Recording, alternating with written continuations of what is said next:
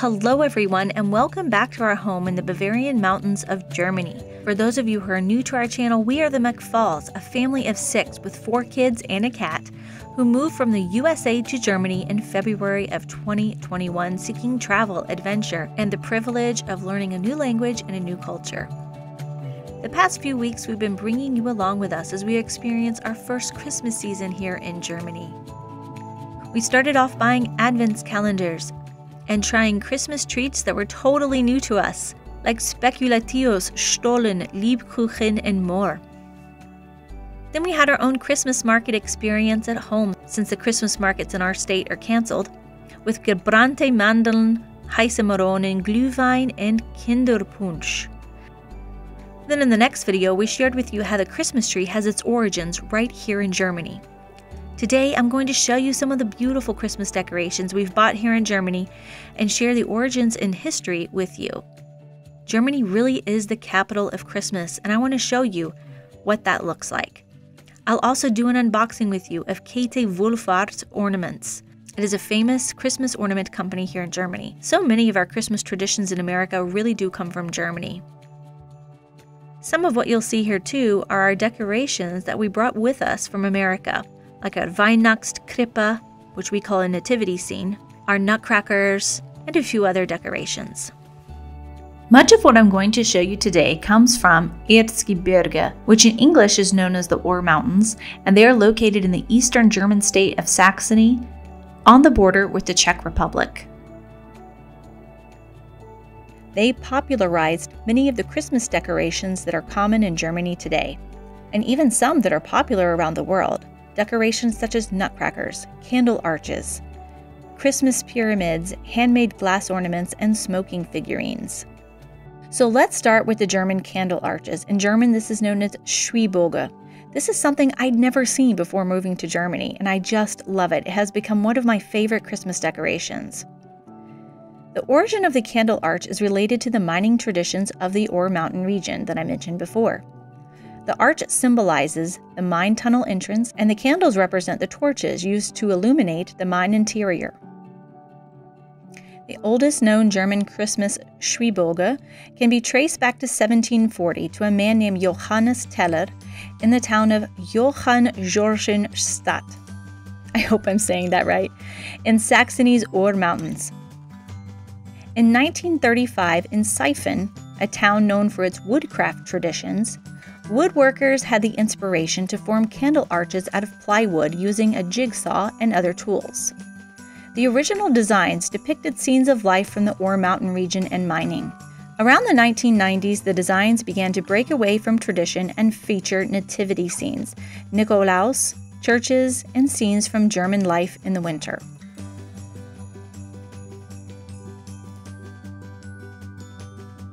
Now I'm excited to show you our Weihnachtspyramide, or in English, a German Christmas pyramid.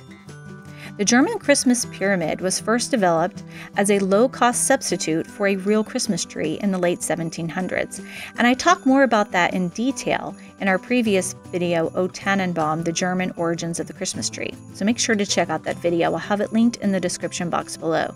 A traditional pyramid is made of wood and typically has from one to five levels.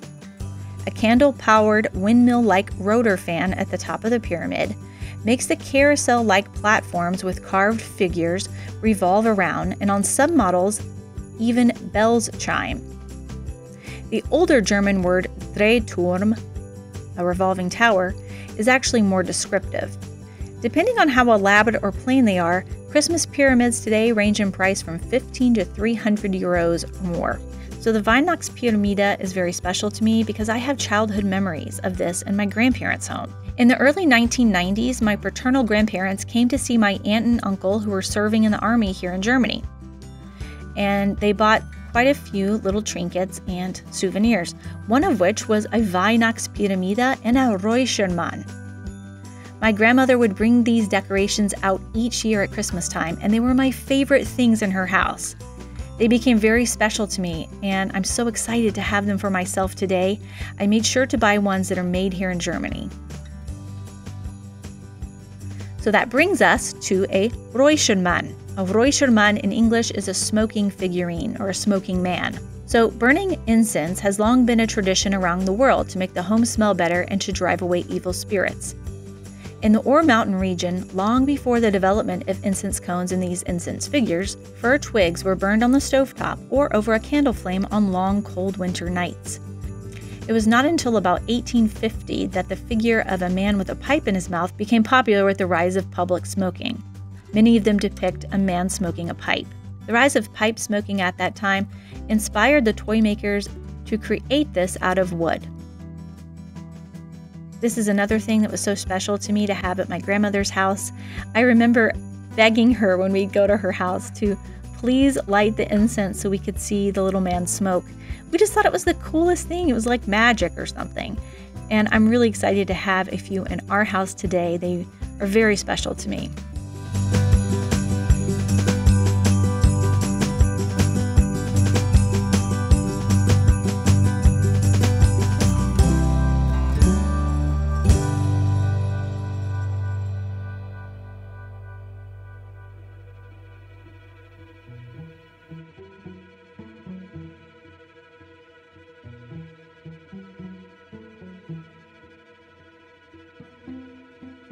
So, the last Christmas decoration I have that originates in Germany are nutcrackers. Now, we only have cheap, mass produced ones that we bought in the US, but now that I know that I can get handcrafted, beautiful ones from Erzgebirge, I plan to start getting one each year, each Christmas, as they are quite pricey, until I have one for each of us in the family. So for now, you see my cheap, mass produced ones. So the first nutcracker is thought to have been created in Seiffen in the 17th century and people there would give them as gifts around Christmas time. They later grew in popularity around the 19th century and spread to nearby European countries.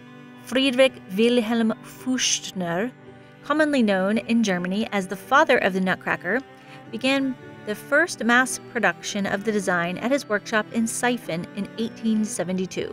Nutcrackers then became popular outside of Europe after the Second World War, when numerous American soldiers stationed in Germany came home to the United States with nutcrackers as souvenirs. Further popularization came from Tchaikovsky's The Nutcracker Ballet, which was introduced to America during the 1950s and quickly became a favorite holiday tradition across the United States. The ballet helped make Nutcracker dolls a Christmas decoration and a seasonal icon across Western culture and I can definitely attest to this. I grew up with my parents buying us nutcrackers at Christmas time. We each got one that we would proudly bring out at Christmas time and set on the fireplace mantle. And then I did the same for our kids. Also, I am a former ballet dancer and teacher, and so the Nutcracker Ballet is very near and dear to my heart, and I watch it each year at Christmas time, and I really do love Nutcrackers because of this ballet.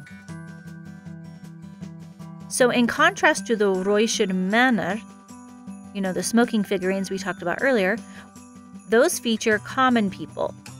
Nutcrackers usually feature royalty and military figures. So, the Erzgebirge region isn't the only region that is full of Christmas charm. Other cities are also popular to view Christmas markets and buy beautiful handcrafted traditional ornaments and decorations. I'm also going to show you some Christmas ornaments that I've bought from Kate Wohlfahrt. Ooh, um, it's a very famous Christmas ornament company here in Germany. You can get it in Rothenburg ob der Tauber. It is a beautiful medieval, very Christmassy village in northern Bayern in northern Bavaria. Eventually, we're going to get over there. Uh, I wanted to get up there this year, but with coronavirus issues, I just decided let's wait until I know for sure if I book a hotel, we'll actually be able to go and we'll actually get to see a Christmas market. So maybe next year we'll try that. And what I've seen from that many of you have told us uh, and told me on Instagram that it's very famous Christmas ornament making company. So I got quite a few ornaments, both to give as gifts in the US to family members and just for us so we can have some German Christmas magic in our home.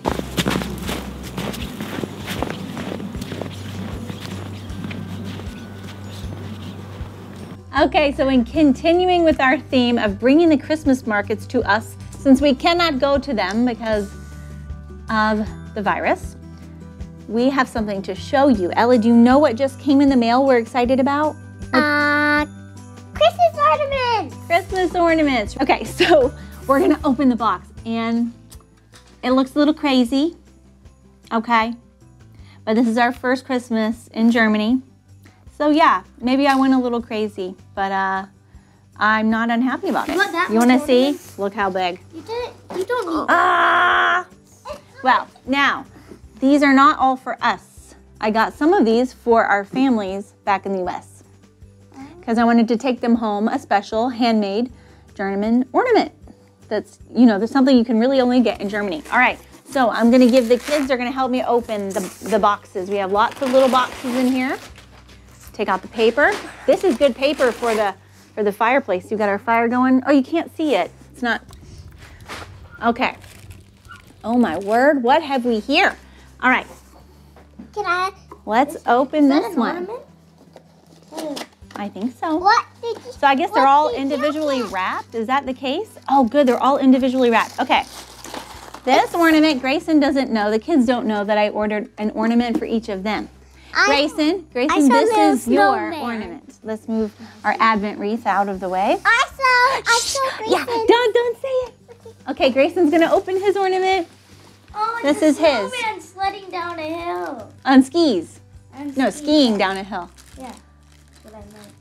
So each year I like to get the kids an ornament to hang on the tree so that when they leave our house, they have a set of ornaments to start their tree with. Uh, my mom did that for me and my siblings growing up, and it's really special, and I loved that. So I'm continuing on the tradition, Mom. I like it, Grayson. Isn't that cute, Grayson? Yeah, it's a snowman skiing down a hill. Yeah, be careful with it. It is delicate. All right, Ella, let's see what's in this one. You want to open up this one? Yeah. I wonder whose that is. I'll let you know. If it's one of your brothers, we'll we'll give it to them. Ooh. Ooh, there's snow in it. I wonder Fake snow. Oh, this is for your cousin. It's a little angel. Okay, but we have to put it in here. Wow, it's so neat. It's got it says Rothenburg ODT Ob der Tauber, Germany on there. Kate. I'm sorry, I'm saying Kate. It's Kate Wolf. Kate's. Yeah. Kate's. Yes, Kate. Sorry about that pronunciation. When I see the umlaut, I remember to pronounce it correctly. Kate's Wul. Kate Wohlfahrt. Mommy, put her back in the back. Guys, learning another language is not easy. All right, we're excited to do it. So, okay, that's wonderful. All right, so let's put that one off to the side. Isn't it great they already come in little boxes? Now I can just give the gift. Now it's Grayson's turn. All right, Grayson, you open that one. and see. Morphic, no? Mm, it's That's Griffin's special ornament, though. It is a squirrel. Oh, it's a squirrel sitting on a leaf. Uh huh. I thought Griffin would really like that. Griffin loves animals and he loves the woods. Mommy, I have to feel And the I'll give you a close up. Isn't that adorable? So I got the kids, I got all wooden ornaments. I would love to have gotten the glass ones. They are gorgeous, but with children, glass is not very uh, reliable. So, all right, let's put it back in there and we'll let Griffin set that one aside so Griffin can open it himself. He is currently doing homework. It is just a regular. again. You have you have one for you too. That might might be be yours. And okay, let me help you open it so the box doesn't rip. Thank you. You're welcome. Ah. That's That's for Daddy. Yes. Isn't he adorable? Oh my god. Yeah, it says Prost, and it's a little Bavarian man. We'll let Daddy open it. hmm He's got a, a, a bretzel. Um, or wait, bretzel, do we say bretzel?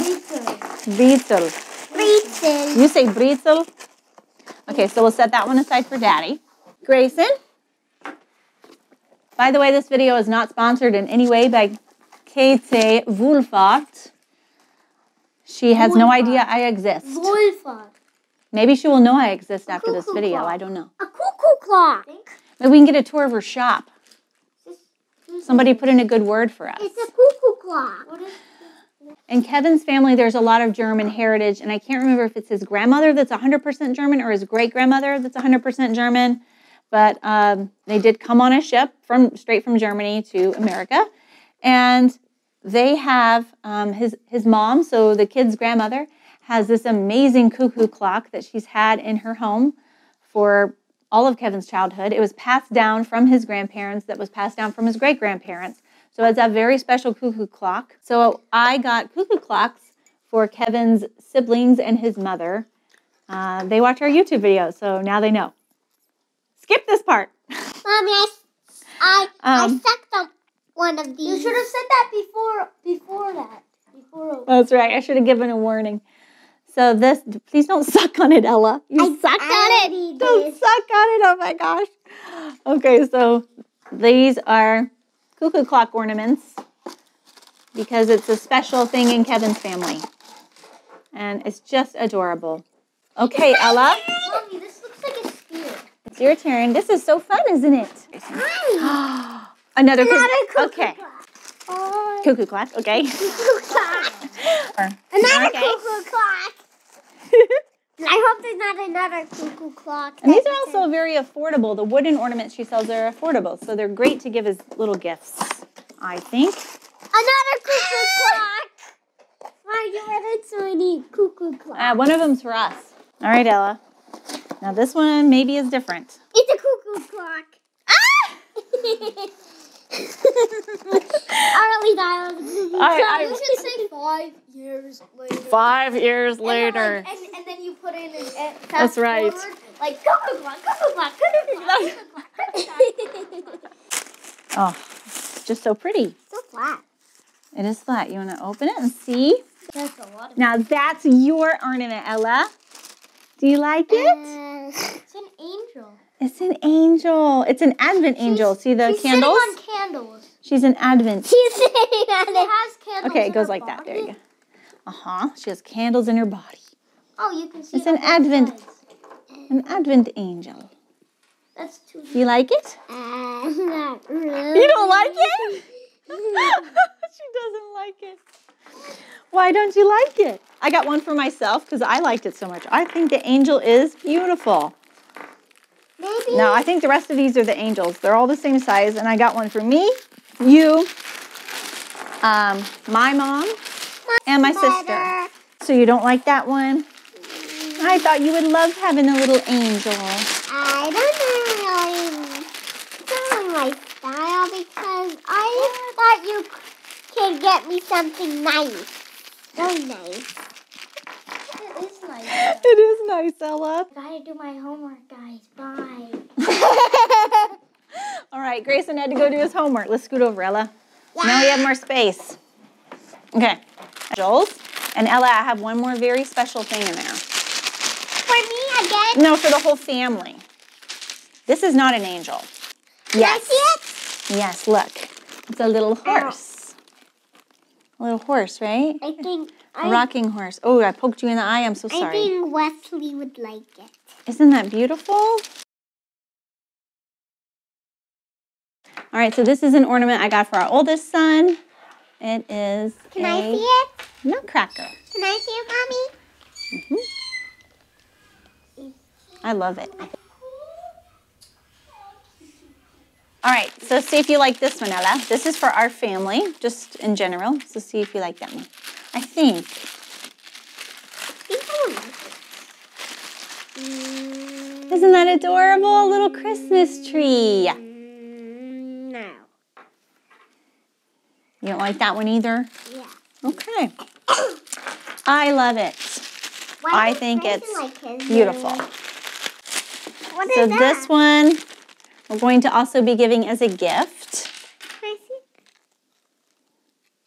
Whoa, it's so sparkly. I, I kind of like it. It's so sparkly. You like the glitter, huh? Yeah, I like the glitter. Okay. Kevin's gonna open his now. So I, it's an ornament. I have no idea what it is. Oh, but here on the side, Don't read it. I don't know. It says it was in wood, so they're all wooden. So that's not a big surprise. Oh, okay.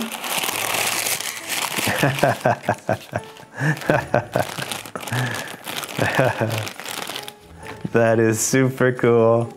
Yeah, you like They got uh, a guy in Tracht with his little Prost beer Maßkrug and his Bretzel. Perfect. Lederhosen and everything. Very cute. I'm glad you like it. So the last thing we have in here, and this I'm really excited about. This is for our family, Ella. You want to sit down and, and you can help me open it, okay? There's a rubber band, it looks like. This is going to be really special. It's a decoration that we can put out and enjoy every Christmas. Only for every Christmas. If we can get Christmas. the box open. Only every Christmas.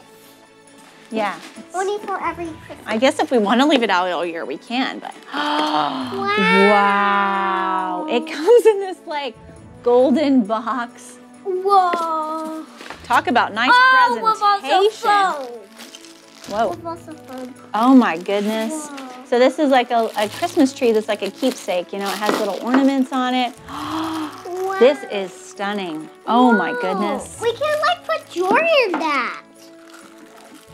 Yeah, you can put jewelry in it? Yeah. I thought it was maybe a music box, but it looks like maybe it's not.